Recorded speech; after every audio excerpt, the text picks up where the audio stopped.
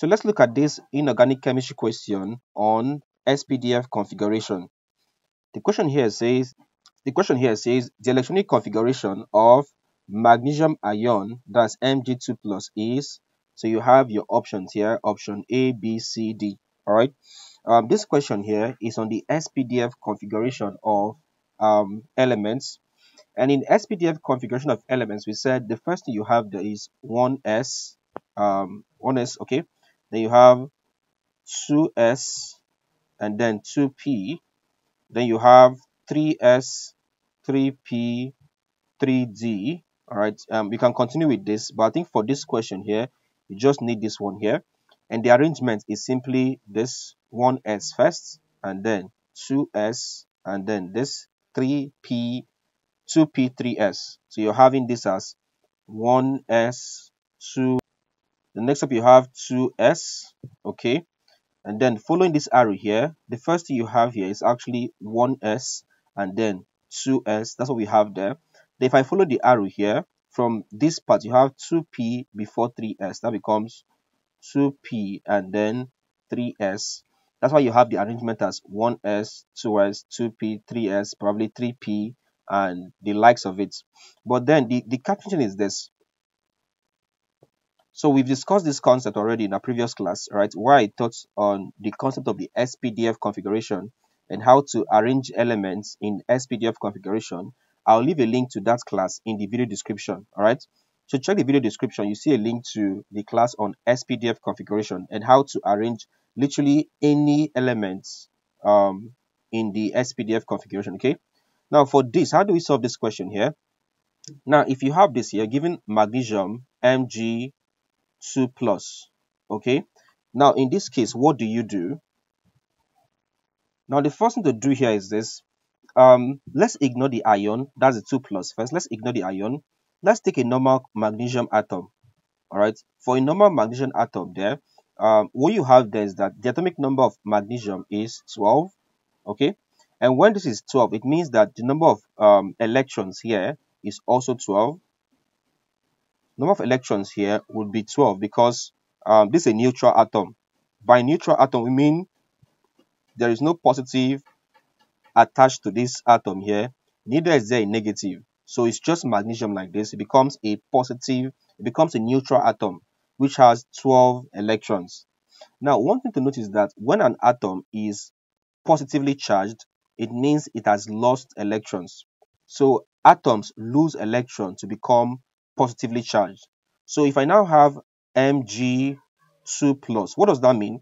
That means that this, this atom here has lost electrons and has also lost two electrons.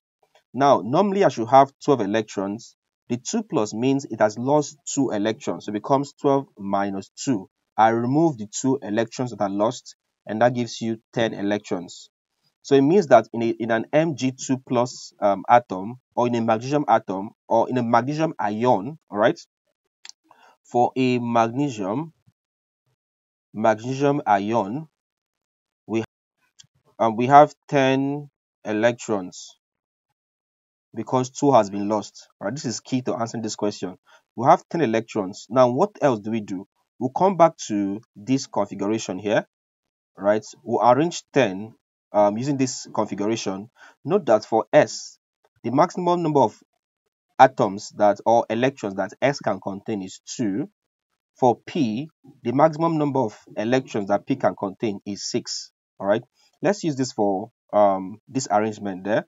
So for magnesium, Mg2 plus having 10 electrons, the first thing I have there is 1s. So I have 1s we'll fill up 2 for because for s the maximum the maximum is 2 so it becomes 1s to power 2 after 1s the next we have there is 2s so we'll come here.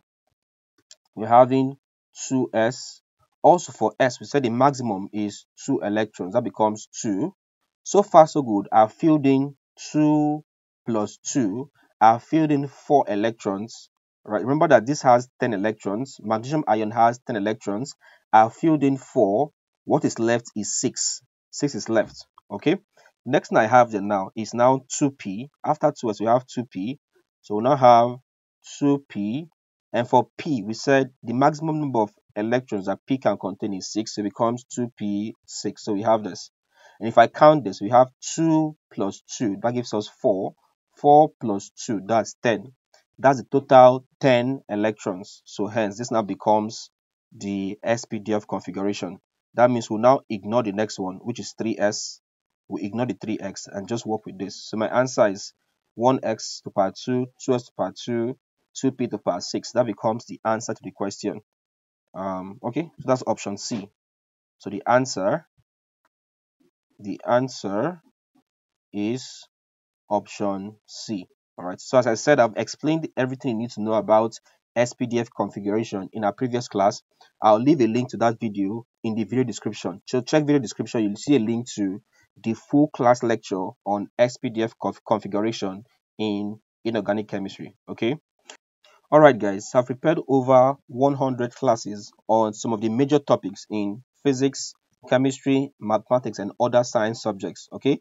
For each of these topics, I've treated past questions for JAMB and WAEC for the last 10 years, alright? In order to assess these courses, simply visit my website www.jonahemmanuel.com forward slash courses and you see the JAMB slash WAEC course, alright?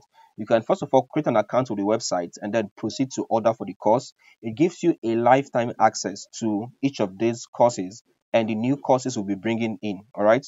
Or you can simply join my channel membership. All right. So you can click on the link in the video description. I'll leave a link to my channel membership in the video description. Right. You can join the JAMB slash WAEC channel membership to get access to exclusive videos on JAMB um, on JAMB and WAEC classes. All right. Okay, guys. Um, as usual, please, if you enjoyed this video, please hit the like button. So like this video, leave a comment. Tell us if you enjoyed this video, or if you have any question, leave it in the comment section. Subscribe to this channel if it's your first time, or if you're yet to subscribe. Please hit the subscribe button as well as the bell icon so that you get notified whenever we upload a new content. And then don't forget to finally share this video to your friends so that they can also learn. Thank you and see you in our next class.